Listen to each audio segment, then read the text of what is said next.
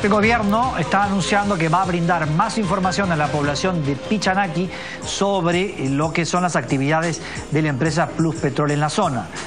Hoy comienza el diálogo que había prometido el gobierno y en la comisión oficial está encabezándola el ministro de Agricultura Juan Manuel Benítez.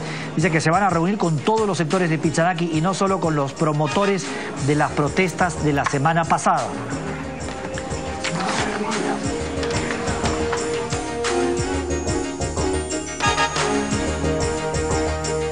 Se ha invitado también a los alcaldes de, los, de los distritos aledaños, de las provincias eh, aledañas y también representantes de los gremios ya cafetaleros de toda la región de la selva central, así como también a las comunidades nativas, que han, tenido un pronunciamiento bastante fuerte el día de ayer a, raíz de que se tomó de alguna manera su representación sin autorización. Necesitamos escuchar la voz de los que han sido elegidos, los alcaldes en este caso, y los que, y los que tienen en todo caso que, proponer. Yo creo que tenemos que pasar de la protesta a la propuesta para que el gobierno pueda dar respuesta.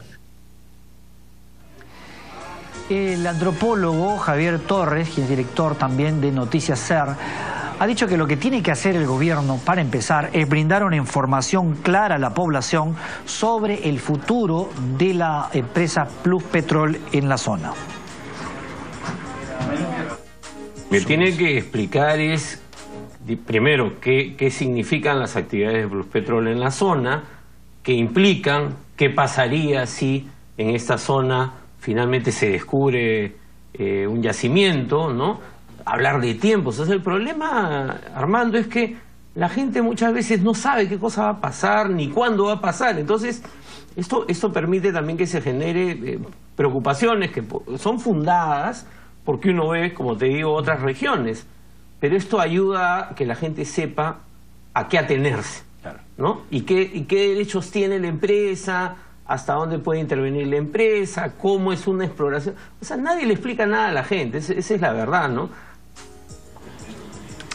10 con 29. Ha comenzado ya la reunión entre los representantes del gobierno y los dirigentes de esta población de Pichanaki, que, como saben ustedes, fueron los protagonistas de las protestas.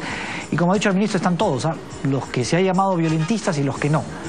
Porque hay reclamos distintos. Están los cafetaleros que tienen ciertamente un reclamo que es comprensible, pero están también nosotros los que están buscando eh, otras cosas que tienen una agenda mucho más radical. Vamos a estar informando, por supuesto, permanentemente de este diálogo. Tenemos que ir a los titulares.